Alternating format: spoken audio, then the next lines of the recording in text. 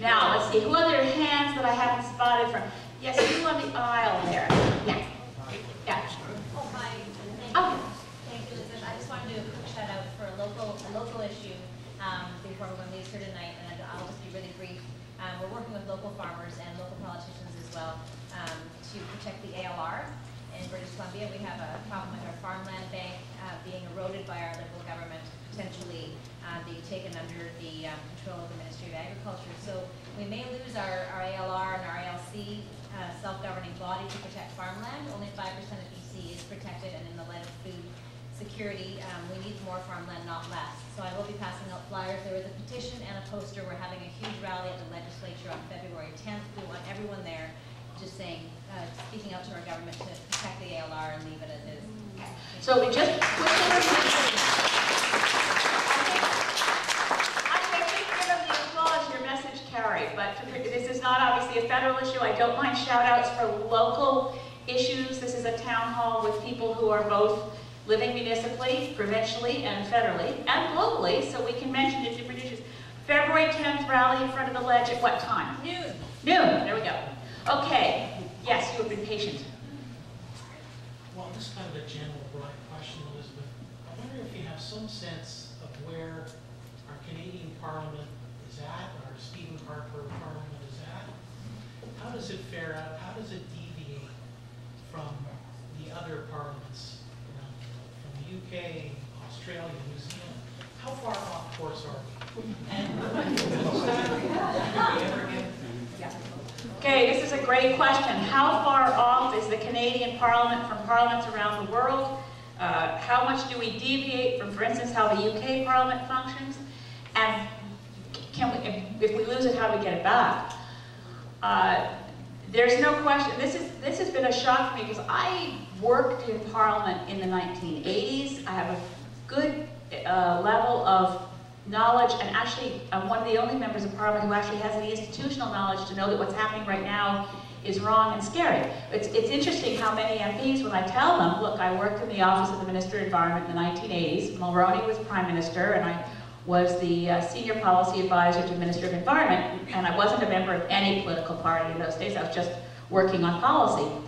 But I tell conservative members of Parliament, and for that matter, New Democrats and Liberals, that in those days, the Minister of Environment would give, would give a speech, and I, I helped him write speeches, and we didn't run it by the Prime Minister's office first. No one would have imagined that we had to. And they're shocked because this is where the institutional knowledge is broken down. They think that what's happening now is normal.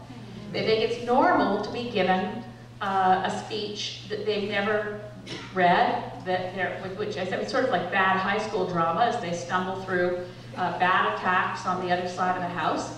And sometimes, you know, their, their heart isn't in it. That most members of Parliament are really good people and very civic-minded. So things have gone far off course, and the reason that things have gone off course is the disrespect towards Parliament as an institution, particularly from Stephen Harper. Now, it would be wrong to suggest that no Prime Minister in the history of this country has been described as a dictator. Um, Jeffrey Simpson wrote a book on Jean Chrétien called The Friendly Dictatorship. Um, so this is the unfriendly one. That's, that, this is where we get the difference. And there's been a steady rise since, well, since the advent of the law that Michael Chong's bill would take apart. Since 1970, leaders of parties have, only since 1970, leaders of parties have the requirement to sign the nomination papers of candidates. This has given more power to leaders of parties. At the same time, around 1968, Pierre Trudeau created the notion that there was something called PMO, the Prime Minister's Office. It did not exist before Pierre Trudeau. It was under uh, Lester B. Pearson, and I spoke to, before he passed away, a wonderful man named Tom Kent, who'd been principal secretary to, to Lester B. Pearson, described Lester B. Pearson's office as, what would have been called the Prime Minister's office, if anyone thought about it, a handful of file clerks and stenographers. There were no power brokers, spin doctors. Well, now we're up to Harper's PMO is $10 million a year of completely partisan spending for conservative hacks who run roughshod over their own caucus, who muzzle scientists and bully the bureaucrats and, yeah, so it, it needs to be fixed because frankly, I'm very concerned that the next person who becomes prime minister will find it very convenient that all the levers of power to run absolutely everything in Ottawa are on one desk, his. Right? So I, would say hers, but the only way it's hers is if it's me, and I'll just.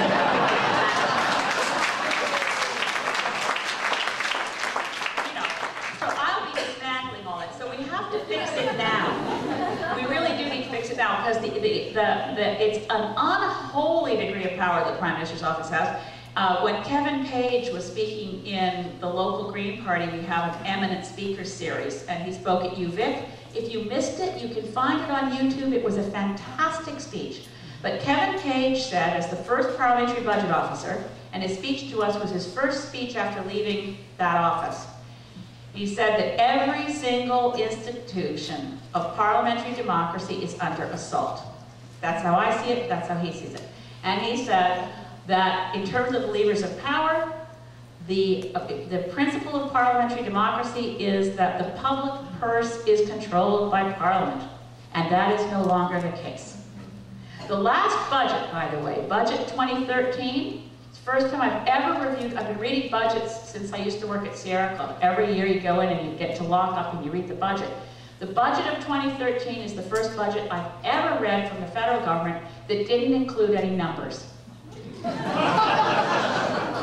it was, it, now, of course it included some numbers. It said we're going to spend X amount on this, we're going to, but there was no tabular summary of what each department was getting. So there was no point of comparison of what each department got in 2013 compared to 2012. There was no summary at the back of the document that showed where the money was being spent. So there were just, you know, sort of, you know, we're going to give X million more to Via Rail, but you didn't know, okay, so there's $54 million more to Via Rail, but what's Via Rail's total budget? You couldn't find it. To get to those numbers, you have to wait for supplementary estimates. So the budget document is increasingly a public relations vehicle for the party in power. And, and again, that shows a contempt for Parliament, because a budget is supposed to be an actual budget, and when Parliament passes a budget, it's supposed to be our job as MPs is to actually safeguard the public purse and debate it properly. And if you don't have access to the information, you can't do that.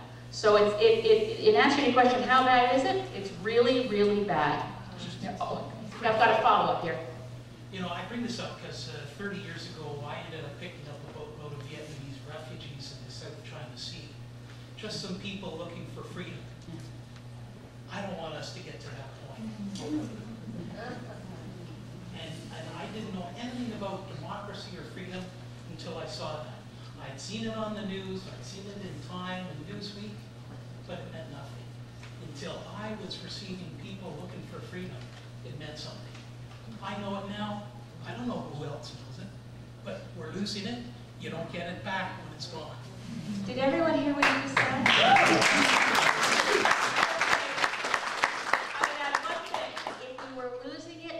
The reason we're losing it and not standing up and fighting is that it's pernicious and almost invisible, and our news media is failing us.